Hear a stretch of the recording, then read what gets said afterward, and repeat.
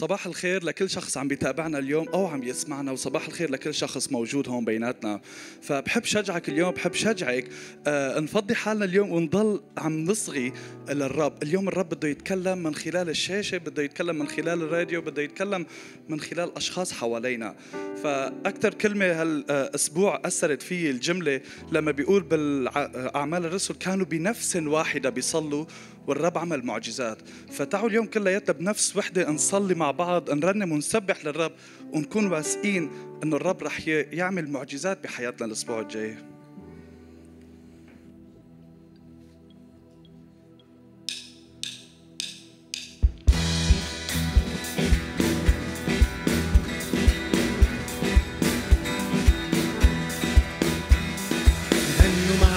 شعب الرب نرنم ليه. هتف تسبحنا يلوي ونعلن نصرنا فيه باليوم ماشي ونكون شعبه اللي مستنيه ومعاه هناك في سماء غنوا!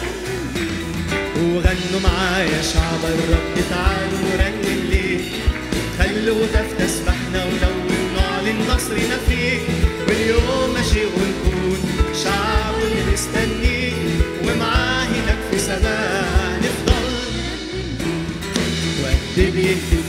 بدمه على الصليب.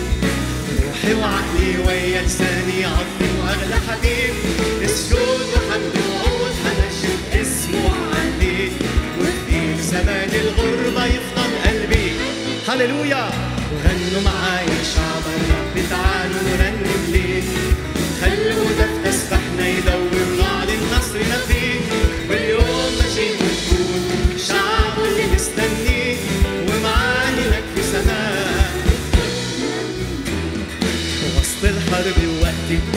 برفع ايدي وعدو يثبت فيا إيماننا. لقيود سجون وجيوش حروب نكسرها بالتسبيح. لما بيعلى هتاف مجدا وغنوا معايا شعب الرب تعالوا نرنم ليه. خلوا هدف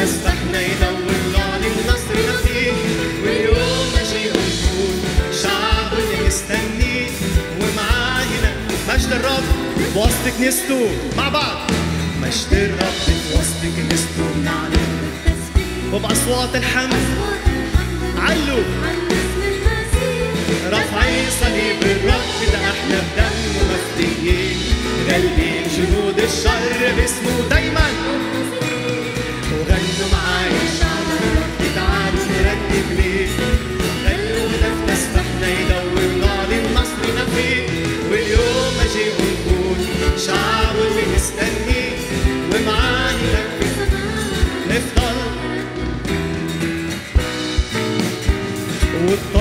خايف ليه؟ تناقش اسمك على كفيك طول ما انت ماسك بايديك اطمن.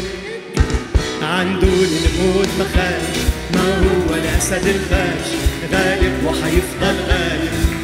كمان مرة اطمن واطمن خايف ليه؟ تناقش اسمك على كفيك طول ما انت ماسك بايديك اطمن. عنده الموت مخاش ما هو الاسد الخاش غالب اطمن عالموج وعالموج العالي بيمشي وكمان المرضى بيشفي يدي وبالنعمة يكفي. ويسدد الاحتياجات في البحر يشق طريق.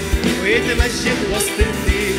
مهما الاحوال بتضيق عالموج عالموج العالي بيمشي وكمان المرضى بيشفي يدي وبالنعمة يكفي ويسدد الاحتياجات في البحر يشق طريق ويتمجد وسط الضيق مهما الأحوال بتضيق يجي ويصنع قواه واطمن خايف ليك تناقش اسمك على كفيك.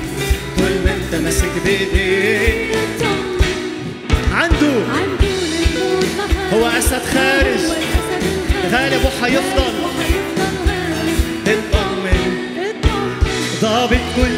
جواه وبروحه في كل مكان وبيدي سلام وأمان للي بيتعلق فيه. وفي الرحمة ملوش مثيل وفداؤه ده هو دليل عن حبه لكل دليل. ضابط كل الأكوان وضابط كل الأكوان. وبروحه في كل مكان وبيدي سلام وأمان للي بيتعلق فيه. وفي الرحمة ملوش مثيل وفداؤه ده هو دليل غالي ومحبوب في عينيك وتطمن خايف ليه تناقش اسمك على كفيك طول ما أنت ماسك بايديك طمن عنده الموت ما خافش ما هو الاسد الغاش في الحرب يحارب عنا. لما بنصرخ له عنا طول عمره قريب منا. ولا يعرف مستحيلات. إبليس قدامه مرعوب باسم يسوع. وإحنا في دم المصلوب. في الحرب في الحرب يحارب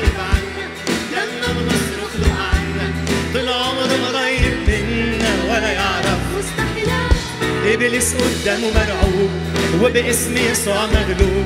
وإحنا في دم المصلوب مضمون لينا انتصارات واطمن خايف ليه ده ناقش اسمك على كفين. اطمن اطمن. عنده الموت ما خاش. ما هو الأسد الغاش غالب وحيفضل شعب الرب قول معي مرة أخيرة اطمن واطمن خايف ليه ناقش اسمك على كفي. اطمن اطمن عنده الموت ما خاش ما هو الأسد الغاش غاش اطمن اطمن هللويا.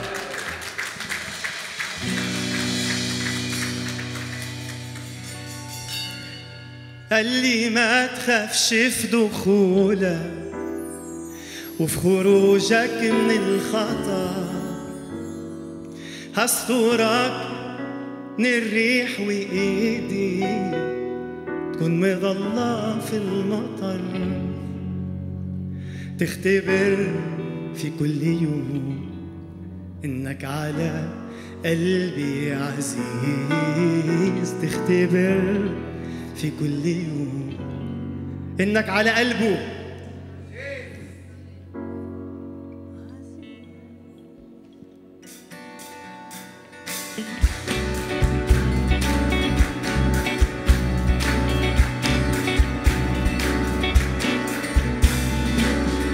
ربي راعي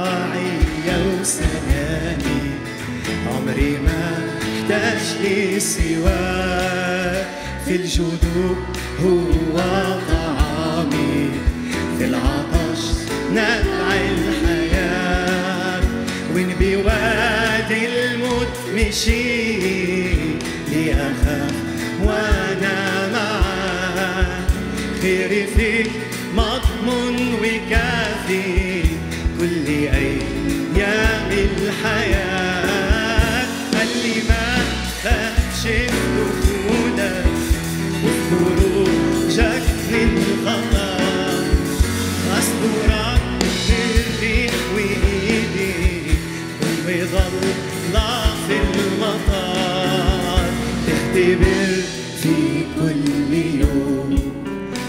إنك على قلبي عزيز. تختبر في كل يوم إنك على قلبي عزيز.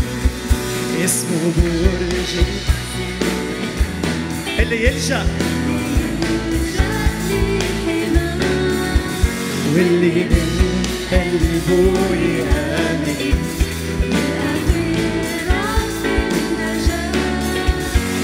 الصلاة انزاد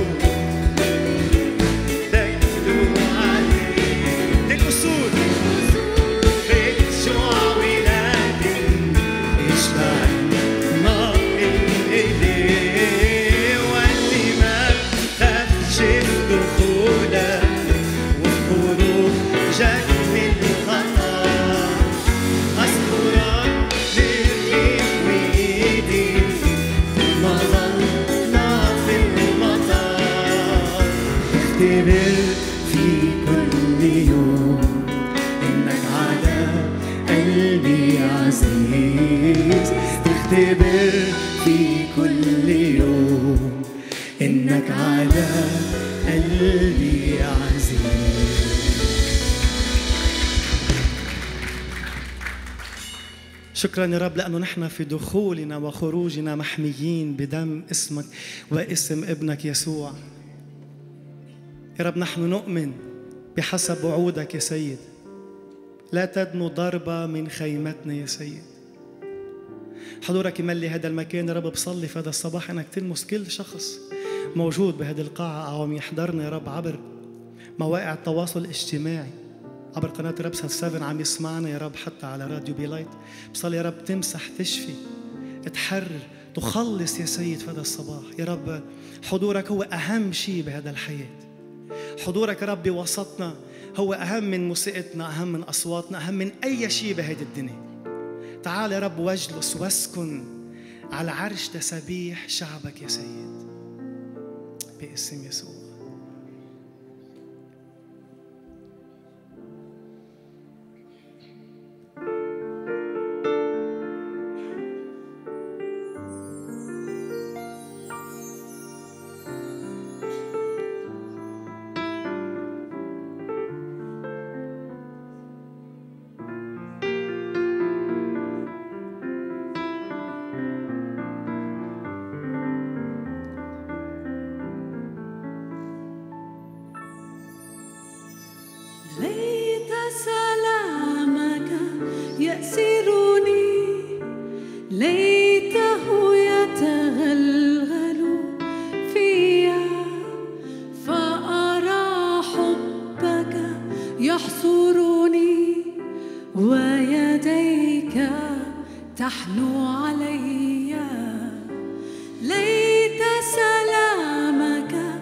su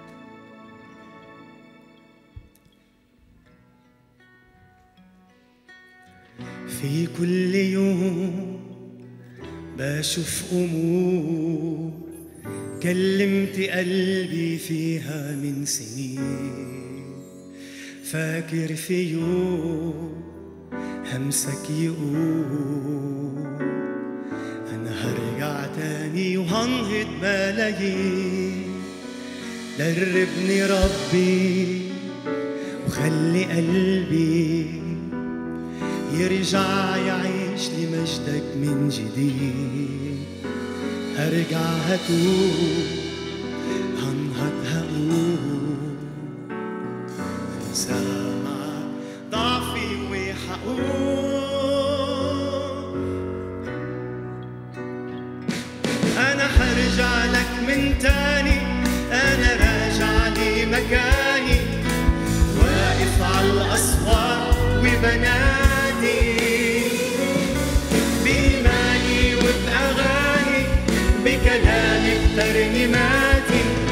يسوع حيكون نور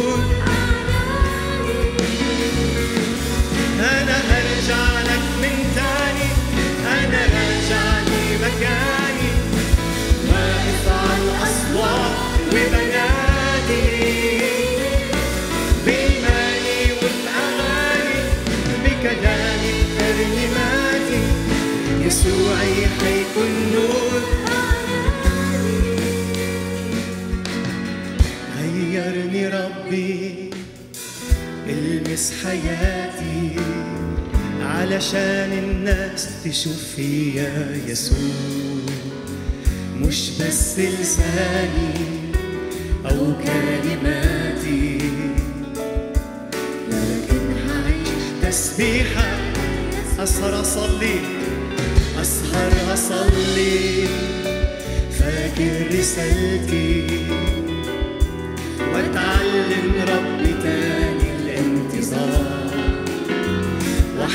شهادة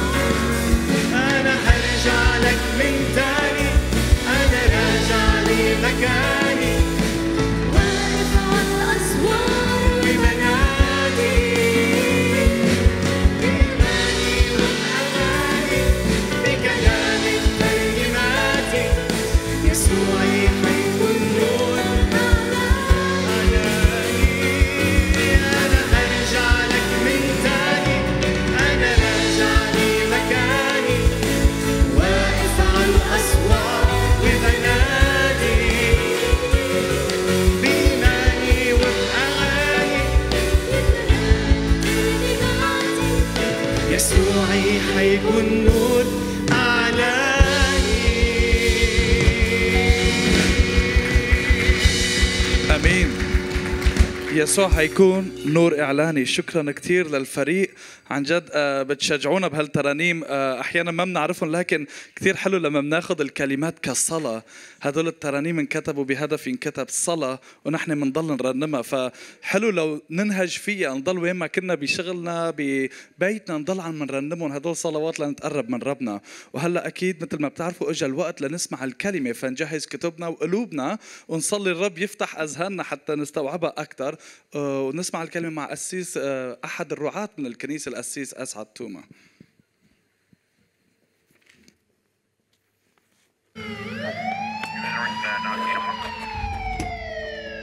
لا لا please لا لا ما please لا لا لا please اتركني بابا دقيقة دقيقة شو شو عم يصير؟ اتركوها هيدي بنتي اتركوها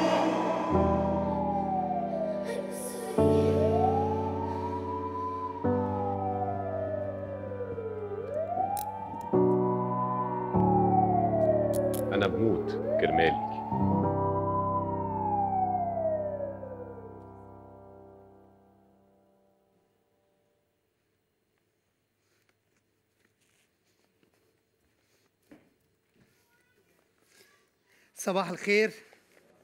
يوم جديد يوم مليان بالبركة. آه كل أب وهو بخير.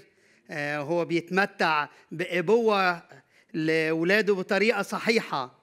آه كم من أباء قدموا نموذج مشوه عن قلب الله الآب. لكن ما أروع وما أعظم الله الآب محبة الله الآب. اللي أعظم أبوة بنختبرها في حياتنا البشرية. إن الله يبقى أبويا. الله يبقى باي وبالمصري الله يبقى بابا. فعشان هيك يوم مليان ببركة جديدة بكلمة الرب فخلينا نتابع مع بعضنا ما بدأ الأسيس حكمت في الأسابيع الماضية ونفتح مع بعضنا كتبنا المقدسة ومعنا أوراق وأقلام. آه، وناخد ملاحظات ونسجل ما يقول لنا الروح القدس. من إنجيل يوحنا أصحاح 15 وابتداء من آية 12 هذه هي وصيتي أن تحبوا بعضكم بعضا كما أحببتكم. ليس لأحد حب أعظم من هذا أن يضع أحد نفسه لأجل أحبائه. أنتم أحبائي إن فعلتم ما أوصيك أوصيكم به. لا أعود أسميكم عبيدا لأن العبد لا يعلم ما يعمل سيده. لكنني قد سميتكم أحباء لأني أعلمتكم بكل ما سمعته من أبي. ليس أنتم اخترتموني بل أنا اخترتكم وأقمتكم لتذهبوا وتأتوا بثمر. ويدوم ثمركم. لكي يعطيكم الآب كل ما طلبتم باسمي بهذا أوصيكم حتى تحبوا بعضكم بعض. رح أتابع ما بدأوا الأسيس حكمت في الأسابيع الماضية وبالتحديد عظة على جزئين أو على أسبوعين تحت عنوان الروح القدس. روح القدس آه، تكلم عنه الأسيس حكمت الأسبوع اللي قبل الماضي عن الروح القدس وعمل الروح القدس الأسبوع ال- الماضي. اتكلم عن عشرين أمر حصل معنا اختبرناه من خلال حلول الروح القدس في آه، وقتنا المعاصر في كنيستنا المعاصرة في كنيستنا كنيسة القيامة. اختبرنا أمور عظيمة جدا بالس- بالسنوات الماضية. واليوم هتكلم عن الروح القدس والمحبة. الروح القدس والمحبة وراح انطلق من هذه من هذا العنوان وهذا المقطع الكتابي. لما بنشوف في المقطع اللي إحنا قريناه نشوف علاقات يسودها المحبة أو تسودها المحبة أو علاقات طابعها المحبة. لما نرجع لكلمة الله نلاقي نبع المحبة هو عمل من عمل الروح القدس. فبنشوف الرجاء لا يغزى لأن المحبة قد انسكبت في قلوبكم بالروح القدس المعطى لنا رمية خمسة خمسة. فالمحبة هي طريقة أو شيء نتيجة طبيعية لحلول الروح القدس في حياتنا. فبدون الروح القدس لا, يكون لا تكون محبة. بدون الروح القدس ما يسكن في قلبي. بدون عمل الروح القدس في حياتي لا تكون هناك نبع محبة. وفي روميا آه، سوري في غلاطيا 5 آه، 22 وأما ثمر الروح فبيبدأ بأول شيء هي محبة فرح سلام صلاح لطف إيمان وهكذا. فيبدأ ثمر الروح هو محبة فرح سلام طول أنا لطف صلاح إيمان. فيبدأ بقائمة ثمر الروح هو المحبة أو هي المحبة. ثمر الروح. فعمل الروح القدس في حياتنا هو المحبة.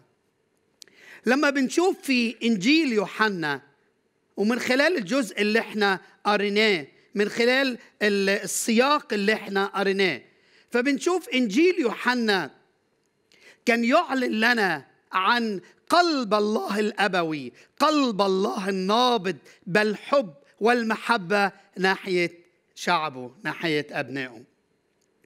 عشان نعرف القصد اللي اتكتب في إنجيل يوحنا. دايما بنشوف الرسائل في الهدف من كتابة الرسائل. وإنجيل يوحنا شو القصد اللي اتكتب منه إنجيل يوحنا؟ شو الغرض؟ شو الهدف؟ آه ليه كتب يوحنا إنجيله؟ عشان نعرف أو البنية اللي اتكتب بيها السفر أو بنيت كتابة السفر وكلمة بنية السفر هو الخط الرئيسي أو الرئيس اللي يقودنا لتفسير السفر. لما نعرف قصد الكاتب من رسالته أو بنية سفره نقدر نفهم ليش اتكتب هذا السفر. وعشان نقدر نعرف قصد يوحنا في ثلاث أمور أو ثلاث مبادئ نعرف آه، قصد يوحنا من كتابة إنجيله. أول شيء البيان الصادر من الكاتب بخصوص سفره غرضه أو طريقته. فبنشوف ليش بيصرح الكاتب آه، كاتب الإنجيل أو كاتب الرسالة شو الهدف من كتابة هذه الإنجيل. فبنشوف البيان الصادر في في يوحنا في يوحنا 20 آية 30 31 يقول كده أما هذه فقد كتبت آيات كثيرة صنع يسوع قدام تلاميذه لم تكتب في هذا الكتاب. وأما هذه فقد كتبت لتؤمنوا أن يسوع المسيح هو ابن الله ولكي تكون لكم إذ آمنتم حياة باسمه. فده التصريح اللي أعلنه يوحنا. ده تصريح الكاتب. اتكتب هذا الإنجيل. كرمال نؤمن نؤمن بشو؟ أن يسوع المسيح هو ابن الله. فهيدا تصريح الكاتب. يعلن لنا أن يسوع المسيح هو ابن الله الظاهر في الجسد. فهيدا هيدا أول شيء نعرف منه بنية السفر أو غرض السفر أو الغرض اللي كتب يوحنا سفره. تاني شيء بنشوف التقسيمات الجغرافية والزمنية والتاريخية والأحداث الانتقالية في الإنجيل. فبنشوف ثلاث محاور الجليل والسامرة والسامرة واليهودية. فبنشوف المحاور اللي بيدور حواليها أحداث إنجيل يوحنا. نقدر نعرف هيدا الشيء اللي فيه قصد يوحنا وهو بيكتب. بنشوف كمان المصطلحات والعبارات والكلمات اللي بتتكرر في الإنجيل تقدر تخلينا نعرف غرض الكاتب أو قصد الكاتب زي كلمة حياة. زي كلمة آيات زي آيات أو معجزات زي كلمة لتؤمنوا زي كلمة الطريق زي كلمة الحق. فبنلاقي هذه العبارات تتكرر مرارا وتكرارا في إنجيل يوحنا لكي يؤكد لنا أن يسوع المسيح هو الطريق والحق والحياة.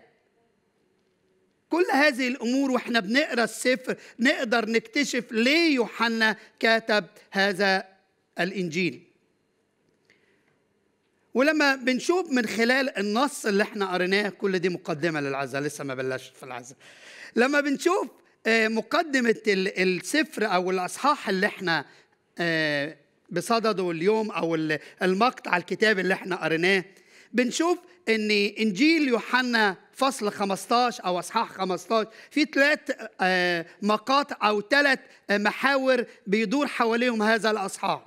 فبنشوف ثلاث علاقات موجودين لأن عنوان العظة الروح القدس والمحبة علاقات تسودها المحبة. فبنشوف أول شيء علاقة التلاميذ مع يسوع المسيح.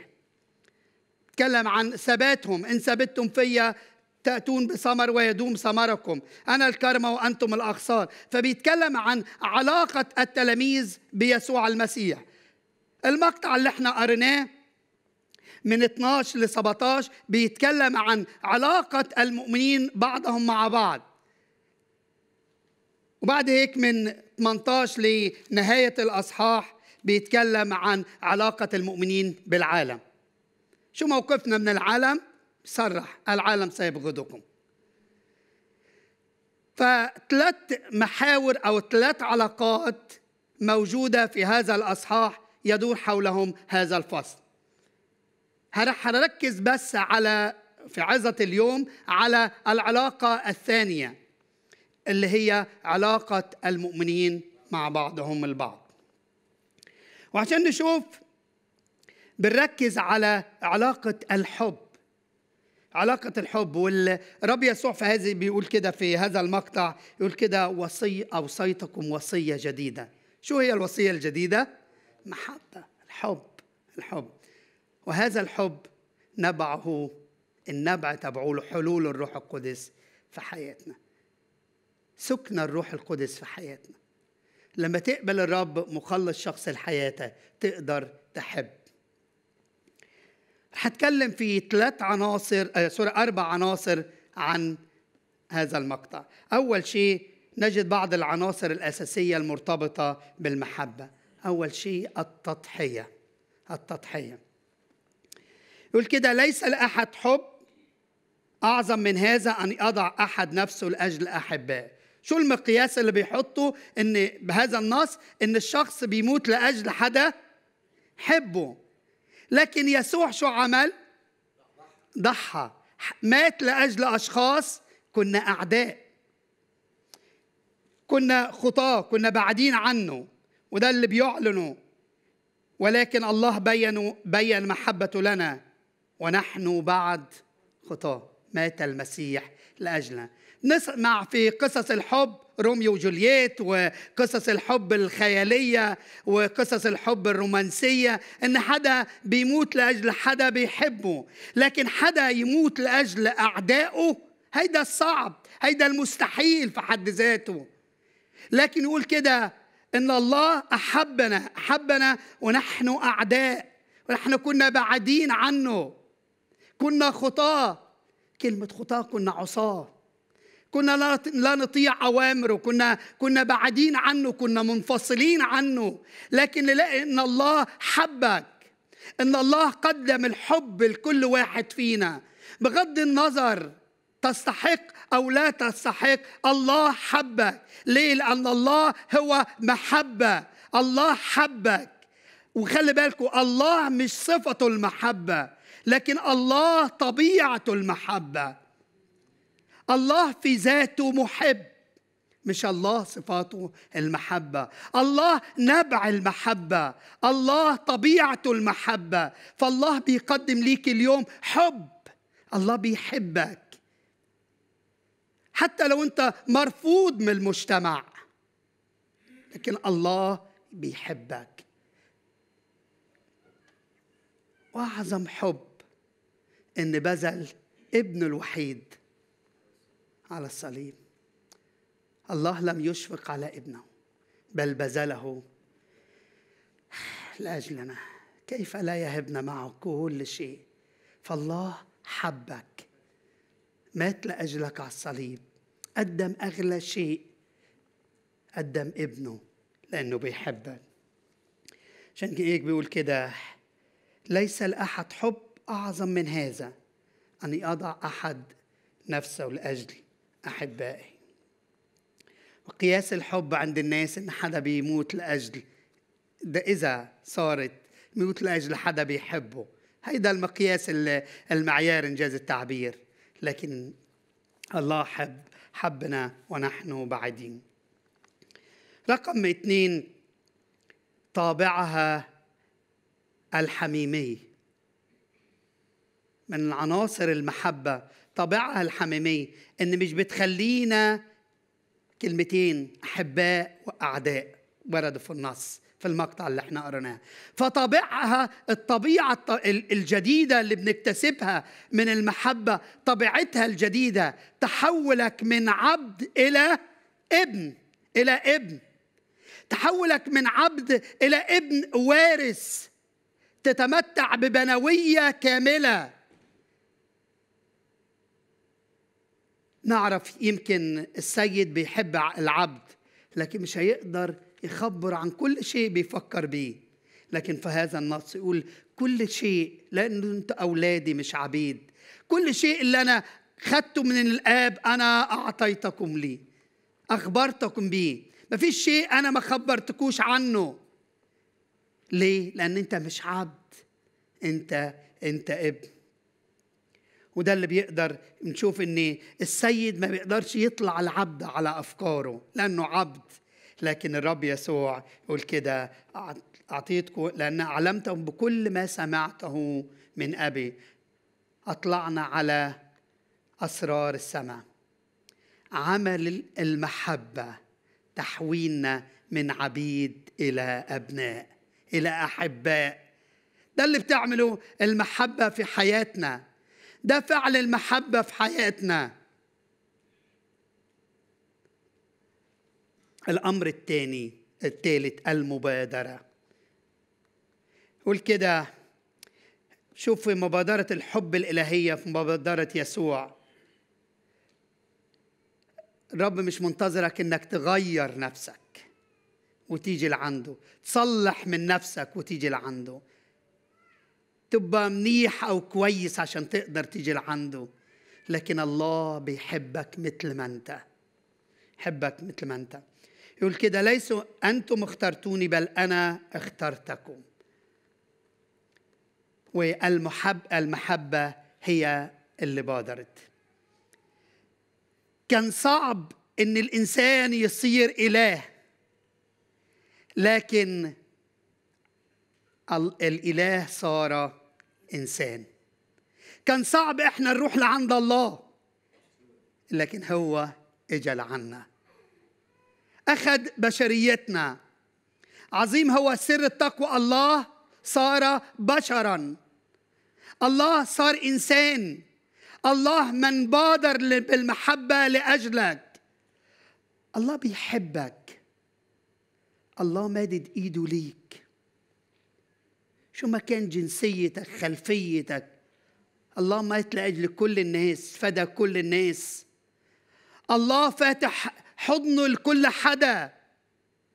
لك أنا منتظرك أنا منتظرك. هل تأتي إلي؟ مش مهم شكلك وديانتك وجنسك وبلدك وشو بتعمل. لا شو ما حتى لو أنت مقيد بالخطية. حتى لو انت مأثور بالخطية. الله بيحبك. الله هو بادر بالمحبة. هو من قام بالمحبة. هو منتظرك تأتي لعنده. يمكن انت مرفوض من المجتمع اللي حواليك. يمكن انت زي ما بنحتفل اليوم بعيد الأب. يمكن انت ما اختبرتش. ابوه حقيقية. يمكن كنت بي قاسي. يمكن ما شفتش حب من بيك. لكن الله حبك. والله ما زال بيحبك وهيضل يحبك حتى ترجع لي. الله مقدم الحب ليك. هو اللي بادر وإجا لعندك. وما زال منتظرك. حتى لو في خطية مسيطر عليك. تعال عنده. لا رب أنا مش قادر أتحرر من هيدي الخطية. لا رب أنا اختبرت الرفض. اختبرت الرفض من اللي حواليا. اختبرت القسوة من أبائي. اختبرت ضرب وتعنيف وأهانة. اختبرت تمييز بيني وبين إخواتي من أبائي. لكن عايز أقول لك الله هو بي حقيقي. بي حقيقي مش بي أرضي بشري لكن بي سماوي. البي السماوي ده بادر بالحب لعندك الأمر الرابع الإثمار. اخترتكم لتذهبوا وتأتوا بثمر. العنصر الرابع لهذه المحبة الإثمار. ومش مجرد نجيب ثمر لكن كمان الاستمرارية. ويدوم ثمركم ويدوم ثمركم. تسأل بعض المؤمنين يقول لك أنا بحياتي مع الرب كنت مستخدم كانت حياتي كنت مولع بالروح القدس كانت حياتي قوية. الأيام دي أنا ضعيف. لما تسيب آه، حياتك لقيادة الروح القدس يقدر يحيي ثمر فيك. اخترتكم لتأتوا بثمر مش بس هيك كمان لكن يدوم ثمركم يدوم ثمركم. شو الثمر اللي الناس بتشوفه بحياتك؟ شوف الثمر اللي بيدوم بحياتك والناس بتشوفه في حياتها. كمؤمن اختبرت يسوع المسيح. كمؤمن اختبرت عمل الله في حياتك. كمؤمن المسيح مات لأجلك وفداك وانت قبلت الرب مخلص شخص لحياتك شو الثمر اللي طالع من حياتك؟ هل بعيش مثل ما بتعيش العالم؟ ولا ليا مقاييس مختلفة مقاييس إيمانية مختلفة؟ دايما بقول التعبير للأشخاص اللي بدربهم وبقودهم بقول إحنا كمؤمنين في نوعين للسمك سمك حي وسمك ميت. السمك الحي يسبح ضد الطيار والسمك الميت مع الطيار. فأنت سمك حي ولا سمك ميت؟ السمك الحي حتى لو المقاييس اللي حوالينا مقاييس مختلفة فيها غش وفساد لكن أنا كمؤمن سمك حي أسبح ضد الطيار ضد المقاييس الموجودة الرشوة والفساد اللي موجود في المجتمع أنا برفضها لأن أنا حي. لأن روح الله ساكن فيا لأن الروح القدس ساكن فيا يقود حياتي عشان أقدر أغير المجتمع اللي حواليا. لما بنعيش بحسب الم... هيدي المبادئ هيدي المبادئ الحقيقية. ثمر. ثمر اللي بحياتنا. كنت قاعد مع مجموعة كم يوم. مجموعة مؤمنين. وبينهم حسد وبينهم كراهية وبينهم غيرة. فقعد أسأل نفسي سؤال. شو شكل الخدمة اللي هتطلع من بين إيديهم؟ شو شكل الخدمة اللي هتطلع من بين إيديهم؟ وإحنا قاعدين في غرفة واحدة. وفي صراع وفي حقد وفي الكراهية. قلبي مكسور على هيدي المجموعة. قول يا رب ليه بنوصل لهنا؟ لأن بيتحول الأمر إني تتح... إني نتمحور حول ذاتي. الأنانية اللي بتصنع كده. الأنانية. لكن لما الرب يكون بحياتي لما الرب يكون بحياتي بقدر اتخلى عن نفسي. صدقوني بدون عمل الروح القدس في حياتي مش هقدر أقدم الآخر. مش هقدر أفكر في مصلحة الآخر. لكن دايما إحنا مصالحنا ودايما ثقافتنا شو راح يطلع لي؟ شو راح يطلع لي من هذا الموضوع؟ لكن لما يكون عمل الروح القدس في حياتي دايما يكون الآخر محبة. قدم له الحب. قدم له الحب. الحب اللي خلى الله يرسل ابنه. أرسل ابنه. الذي لم يشفق على ابنه. الله لأنه بيحب. فقدم الغالي والثمين في حياته. لأنه بيحب. ولما يكون عمل الروح القدس في حياتك تقدر تحب وتقدر تغفر وتقدر تقبل الآخر.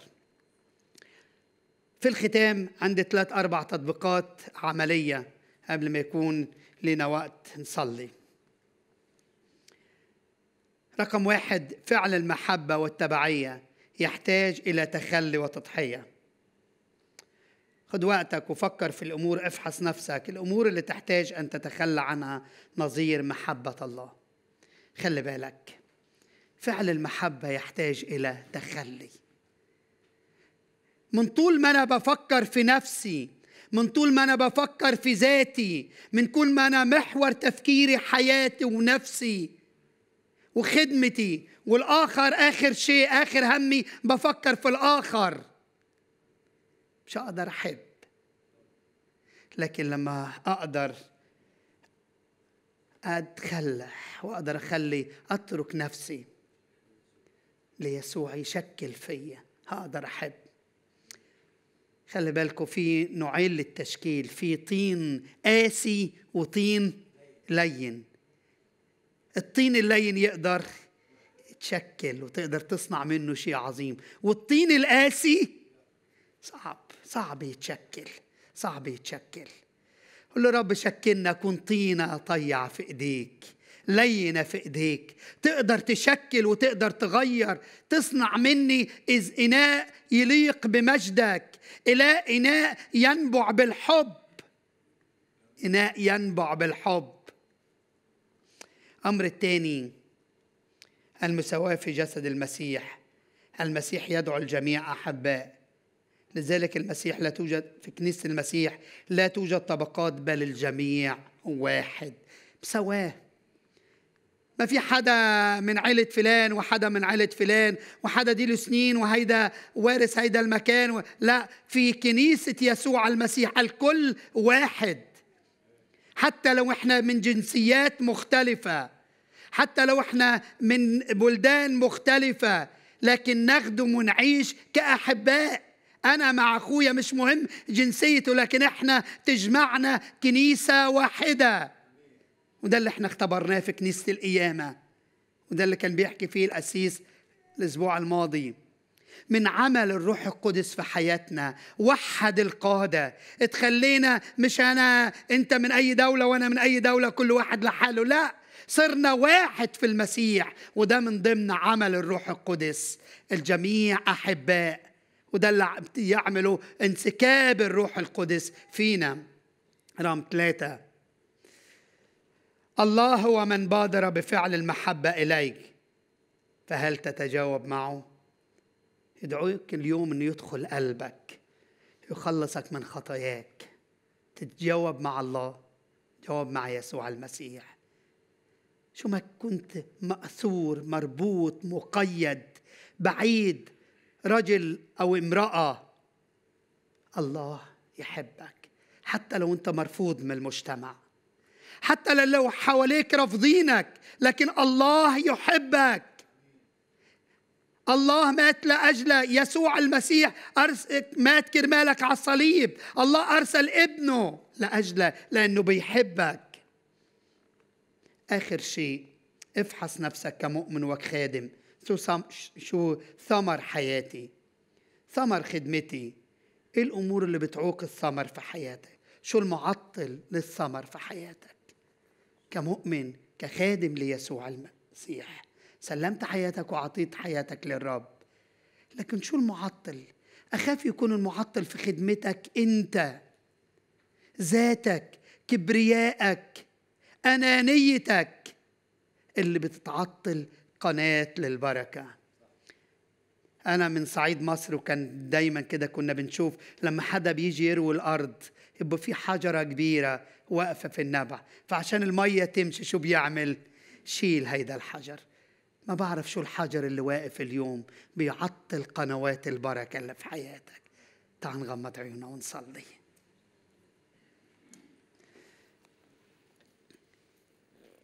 خمس دقايق اللي باقيين نقول للرب هيك. شكلني غيرني. خلينا أكون يا رب في ثمار حقيقية في حياتي. أنا محتاج يا رب أكون في ثمر بحياتي غير يا رب. أشكرك لأجل فعل المحبة. أنت اللي بادرت وجيت لعندي عشان بتحبني. أنت اللي بادرت واخدت فعل الحب. مش لاقي الحب ده في اللي حواليا. أو يمكن الناس بتقولوا لي بس حبه مزيف. كرمال مصالح. كرمال استغلال. يمكن حب شهواني. لكن عند الله حب حقيقي. لأنه حب سماوي. هذا المحبة وهذا الحب في طبيعة الله. اللي بادر وجا لعندي كل اللي بتشوفه عينيا مش كل الحقيقة. اللي بتشوف عينينا مش كل الحقيقة. في عالم روحي في السماء اقف معانا وصلي هيدي في الصلاة. لله مشيئة. اللي بتشوف عينينا. مش كل الحقيقة. مش كل الحقيقة. عيوني بتشوفها في عالم روحي في السماء في لله مشيئة. بالإيمان. بالإيمان صلبنا تغير واقع. تغير التاريخ تعالى تعالى يا رب نطلبك دي صلاة. وانزل إلينا يا رب إلينا وأرضنا من حوالينا. يا يسوع من فضلك. قل كلمتك يا رب.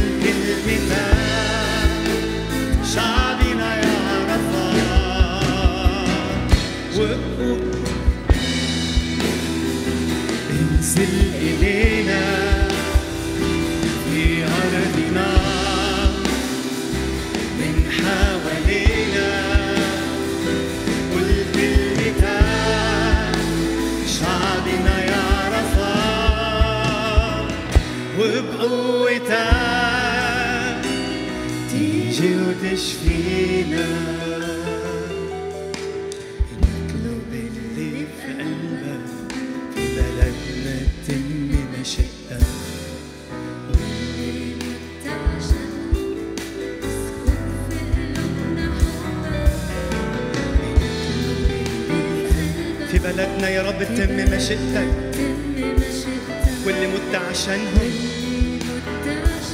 اسكب في قلوبنا.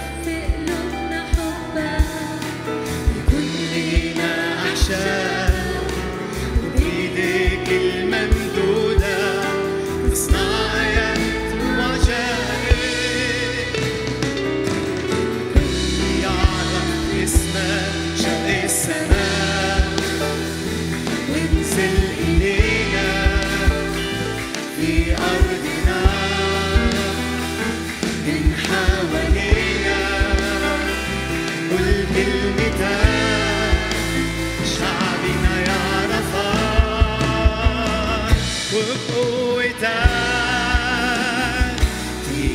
وتشق السماء شق السماء وانزل إلينا في أرضنا يا رب من حوالينا